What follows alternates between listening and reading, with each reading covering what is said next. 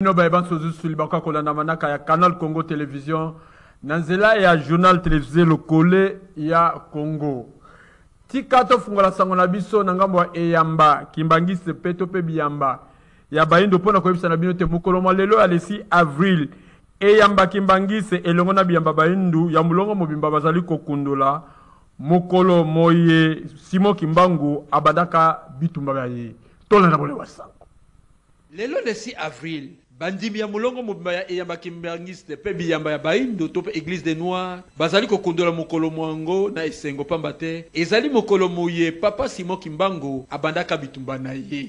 Na boye bosimba ete mokolo mwango ya le 6 avril ya mobu na mobu bandimi ya eyamba kimbanguiste mpe biyamba baindo basimba libaku yango mpo na kokanisa mpe kosala Mister Kafu Kafu na tina ya kokanisa mosala mpe bitumba biye Simon Kimbangu abundaki mpo na kokangola moto moindo mpe kopesa ye bonsomi. Nzoka nde na ngambo ya pai politiki, tata mokonzi ekolo Felix Antoine Tshisekedi Tshilombo akomisa mokolo yango mokolo ya bopemi mpo na muana ekolo Congo democratique nionso wapi asakolaka mokolo yango lokola journee nationale de lutte de Simon Kimbangu et de la conscience africaine. Manso maye ezali mpo na kokanisa mosala moye Simon Kimbangu asala ekende pamba te, wapi baye bakoya sima bayebak mpe kokanisa mosala mwango lokole ya Kongo, ndakisa ya mbongwana. Wuta poso oyo, Ekolo Congo democratique ewutaki kozwa mokambi ya mbulamatari ya sika na kombo ya mama Judith Tuluka Suminwa na boye bayi Lokole ya Congo tomeka komanyola na ntina mosala moye mozali kozela mbula matari ya mama Judith Tuluka Suminya. Tolanda bongo bolai bwa sango. Wuta ekolo Congo democratique ezala ekolo, etikala kozwa mokambi ya mbula matari azala mwasi te. Nzokande na poso oyo tozali na yango, Ekolo Congo democratique ewutaki kozwa mama Judith Tuluka Suminwa lokola mokambi ya mbulamatari na mandat ya mibale ya mwana mboka Felix Antoine Tshisekedi Tshilombo lokola tata mokonzi wa ekolo. Kotala mikolo miye lolenge Ekolo Congo democratique ezali kotambola, ezali kolakisa ete mama Judith Tuluka Suminwa azali na mosala monene ya kosala pamba te miso to elika ya mwana nyonso ya Ekolo Congo democratique, Ezalaki kozela kaka mbulamatari ya sika ebima, pamba te makambo mingi na Ekolo Congo democratique mikolo miye mizali ya kotelema, wapi dollar ezali ya komata se ya komata, biloko mingi na wenze ezali komata mokolo na mokolo, transport na engumba mokonzi Kinshasa ezali komata talo, wapi mokumbi na mokumbi azali komatisa talo ndenge alingi, na ngonga ye alingi, ndenge motema na ye esepeli. Okende na monyele ekolo Congo democratique kuna koloba te wapi ba dongolo miso ya M23 pe basimbi mandoki masusu bazali kozangisa bayi mboka kimia ezala na etuka ya Nord Kivu, Sud Kivu pe etuka ya Ituri. Kotala makambo manso maye ndenge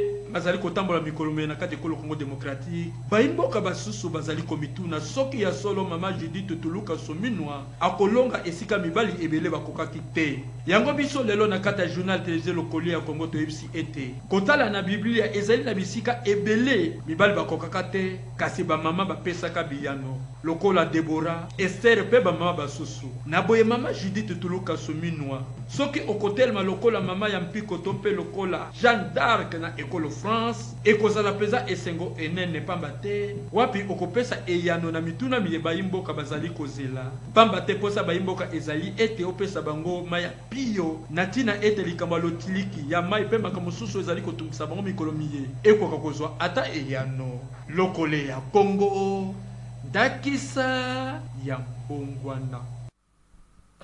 Totikala kaka na ngambo ya politiki ekolo Congo to demokratiki mingi mpenza na mokambi ya mbulamatari mama Judith Suminwa Tuluka.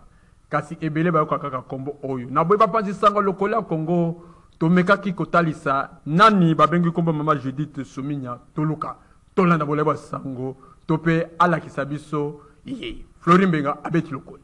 Uta mokolo mwa lobi moleki, ekolo Congo democratique Esilaki kozwa mokambi wa sika wa mbulamatari ya ekolo, oyo aponamaki na tata mokonzi wa ekolo Felix-Antoine Tshisekedi Tshilombo. Mama Judith Suminwa Tuluka, ye azali nani? Molongani ya Roger Tuluka mpe mama wa bana babale, Judith Suminwa awutaki kozala ministre ya Plans Na gouvernement ya Jean Michel Sama Lukonde, muasi ya bwanya mpe mayele, mokitani ya Jean Michel Sama Lukonde, azali na Master ya Sciences du Travail, Administration mpe Gestion ya Personnel. Azali licencie ya sciences economiques appliquees na oyo etali gestion financière oyo nyonso na ekolo Beljika. Abandaki mosala mua ye na mambi matali secteur bancaire yambo te akende na ngambo ya PNUD. O mobu ya nkoto mibale na zomi na mibale, azalaki conseillère na ministère ya Budget oyo ekambemaki na mwana mboka Daniel Mukoko Samba. Na sima, tango mwana mboka Felix-Antoine Tshisekedi Tshilombo asimbaki ngbende ya kokamba ekolo, mama Judith akokende na ngambo ya Presidence de la Republique wapi epayi azalaki coordonnatrice adjointe ya Conseil presidentiel de veille strategique o mobu mwa nkoto mibale na ntuku mibale na misato, akokota na mbulamatari ya ekolo lokola ministre d'Etat o mambi matali mwango to mpe plan. Na moi ya lelo, Judith Suminwa Tuluka azali mwasi wa yambo oyo afandi na ngbende ya kokamba mbulamatari ya ekolo uta Republique democratique du Congo ezwa lipanda o mobu mwa nkoto moko nkama libwa na ntuku motoba. Azali mpe moto wa yambo etuka ya Kongo central oyo bapesi ye mokumba ya kokamba mbulamatari ya ekolo. Na nyonso, tokolikya te mama Judith Suminwa akokokisa lotomo la ye na malamu mpenza.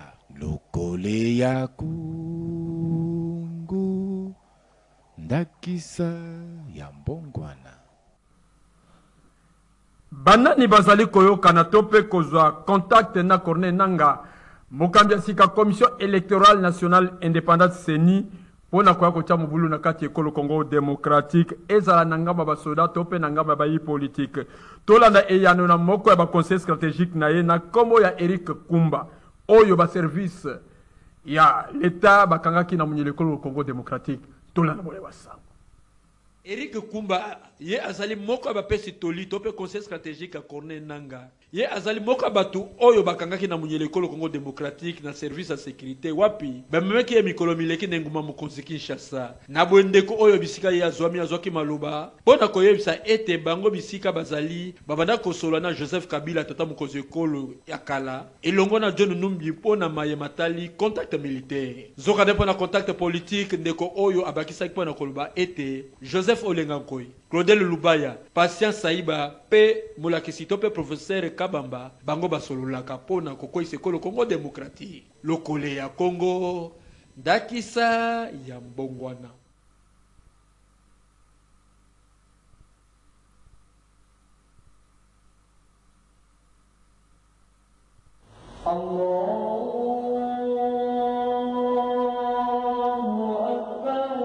Etikali mikolo ya kotanga na tina ete bandeko ya Islam bakoka kosukisa eleko na bango ya Ramadan to pe kokila. Na boye elobeli ya lokole ya Congo ekitaki mokolo mwa lelo na commune ya Bumbu mingi penza na balabala Mafuta na mosquee Al Ihsan po na kosolola na Imam Idrissa Nzessa po na kotuna ye tina nini ba musulmans bakilaka to pe ba jeunaka. Yoka ndenge ayanolaki. Ya liboso ezali amru min Allah, mibeko, ordre, euti ya epai ya Nkolo Nzambe, nde alobi na kati na Coran, ya ayuha alladhina amanu kutiba alaykum siyam kama kutiba ala alladhina min qablikum laalakum tattaqun. Nzambe alobi, e bino bato bondimi Nkolo Nzambe, bokanga karem lolenge bato balekaki liboso bakanga karem. Sikoyo pourquoi tokanga karem wana? Nde alobi laalakum tattaqun, donc Nzambe alingi tobanga ye. parce que carême kita moto akokanga carême nde akomi na niveau ya kobanga allah subhanahu wa taala nde nzambe aza pesa bawumbu na ye babanga ye yango akopesa ngo carême wana mpo carême ezali école okoti na kati ya école ozali koapprendre ndenge nini basalaka bolamu ndenge nini bakimaka masumu soko comprendre yango mete yango ya pratique ntango après carême nde comportement na kati ya carême ya kokima masumu ya kobanga Nzambe nde yango wana Nzambe aza na posa na yango eko nde tina ya Karen mpo moto abanga Nzambe. Epai esusu, Imam Idrissa Nzessa asimbaki libaku yango mpo na kopesa toli na bandeko na mikolo mitikali. Yoka ndenge abakisaki. Conseil ezali kolanda Prophète Muhammad saw salam. Prophète Muhammad saw salam azalaki soki akoti dix derniers jours ya dix derniers nuits ya mois ya Ramadan, azalaki kosala nini ahya leilahu mpo na ye butu ekomi moi elakisi nini akolala lisusu te abandi kosambela nzambe donc bolamu azalaka ta didene jour na butu soki moto asambeli butu moko yali kuwa moto asambeli mille mois soki otala bolamu wana yo raton nga ndenge wana nde yango na suka bamusulman baza kolamuka na butu baza kosambela nzambe bamosusu bakoti rete na kati ya moske mpo na koluka bolamu wana zoka nde mpo na likambo kokende kosukisa kokila to mpe ramadan na bango Ya mbala oyo na libanda des martyrs, Imam Idrissa Nzessa asukisaki ete. Naza representant legal te, mais na kolanda na evolution ya mboka ndenge ezali kokende, ba musulmans comportement elekaki la fois passee oyo eleki bande na na martyrs nde mpasi epesaki ba suspendre kosambela na martyrs to kosambela en groupe ndenge wana. Nde yango wana ba representant legal banda bande nionso bazali kotinda biso osambelaka na ba mosquees donc. tokosambela na moske soki bapesi biso mibeko ya kosambela na moske soki babi tokende sambela bazwi solution tokosala mpo ya bazwi solution mais pour le moment eyebani kaka tosambela na kati na moske mpo na kokumisa nzambe kosala priere ya idi tokokola te priere wana te lokole ya kongo ndakisa ya mbongwana Mosali na Nzambe Bibiane Benediction Bongo akebisi mpenza na makasi bayimboka ete batika kobebisa bizaleli ya basali na Nzambe. Azalaki bongo na elobeli ya Flory Mbenga. Tolanda ye. Na nzela ya masolo maye tozalaki na yango elongo na ye, Reverende Bibiane Benediction Bongo, consultante en mediation, experte en genre, abetaki lokolo na ntina ya maloba maye tata cardinal alobaki N'eyenga ya pasi ka, yoka lokole. Euh papa Flory nakoloba eloko moko en tant que nganga Nzambe oyo asali ba etudes le problème chez nous c'est quoi? Bato mingi ba mi auto proclamer kaka be boye lelo oyo pour naza pasteur, pour naza prophète, pour boye na boye comme vous voulez naza docteur mais ba oyo bazui ngolu ya kotanga Lokola biso boye tii osali master ya theologie ou ya missiologie toyebi mabombami ebele epuis oyebi basango basango balekisa ngonga na bango ya kotanga biso basango ya katolike balekisa ngonga mpenza na komanyola makomi ozomona eya na cour moko tozalaka nango babengi exegese ezalaka ya, ya ancien testament na ya nouveau testament cour wana etalisaka bato ndenge nini ya kointerprete liloba ya nzambe alors soki ozwi euh, ndenge tolobaka yango na français soki okotisi baprétexte obimi na contexte ya makomi ekomi prétexte nde yango oyo bato ya libanda bakosala Babimi na contexte. Papa Cardinal Fridolin Ambongo alobi makambo oyo na lolenge kani? Papa Flory, biso tozwa ndingisa depuis na Bible. Nzambe apesa biso ndingisa ya kokota makambo nyonso oyo ezosalama na se na moi, ezala politique, ezala ecclesia ezala société civile donc tout ce qui se passe sur la terre l'église y est impliquée l'église c'est qui l'église ce sont des représentants de dieu comme likambo ya kokamwa na kati ekolo congo démocratique bapulusu bakomi mpe kokanga ba ambulance tolanda bolembo ya sango Mosala ya bapulusi kati na mboka ezali ya kobatela bato mpe biloko na bango, kolandisama ndenge ekomami na kati ya mibeko. Kasi na ekolo Congo democratique, mingi mpenza na engumba-mokonzi Kinshasa, makambo masusu maye bapulusi bakosalaka malongobani te. Ndenge bozali komona na nzela ya bilili, motuka ya ambulance oyo ezalaki na mokoni na kati, Na lombangu mpenza, bazalaki kokendela ngambo ya lopitalo mpo te Mokoni azwa lisalisi liye libongi na ye. Na pwasa, bakwei na motambo ya bapulusi ya Congo democratique. Bapulusi bakotelemisa ambulance eyaki kobenda matata mpenza lokola kaka bilili bizali kolakisa. Likambo liye bakangelaki na yango ambulance oyo eyebani mpenza te. Kasi tala pulusi oyo ndenge azali kongengisa miso likolo ya sofele oyo abandaki komema ambulance oyo. Esukaki bobele wana te, bamemaki likambo oyo kino epai ya bakonzi ya bapulusi. Na pwasa, bayaki kotia maboko na bapulusi baye bakangaki ambulance yango liboso ya bakonzi ya bapulusi. Sofele ya motuka ya bapulusi alimbolaki yango na lolenge loye. Natelemaki na quartier trois, embouteillage ezalaki, nazozela embouteillage efonguama bato tokende, ye aye sprinter moko ezalaki mopanzi na ye a coincer sikoyo mpo abima sens unique, nde aye atuti ngai abandi okende, tokei tosengi ye a remettre biso une carte rose, alingi abanda okima mbangu, nde bayebisi bato bazalaki na kati balobi que malade aza na kati, nde na escorter.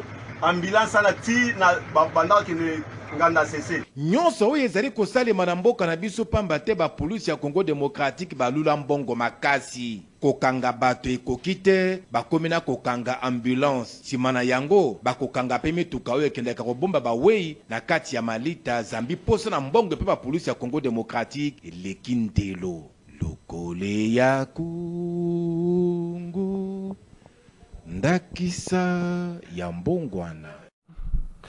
Bandeko balandi manaka ya Canal Congo Television mingi mpenza ya journal Television Lokole ya Congo na sango eye nde succès ma manso to lengelaki mpo na bino kasi soki basango ekomelaki bino na ndako bozongisa bongo matondo na Jules Olivier Longwangu oyo azalaki na nzela ya kamera na realisation ya Moro Nzambe regie finale ezalaki bongo Christian Banjolo montage Ya Ibrahim Kusu na kombo na bango banso botikala malamu ngai na bino tokutani mokolo ya jeudi mozali koya boboto bondeko bolingo omboka bino.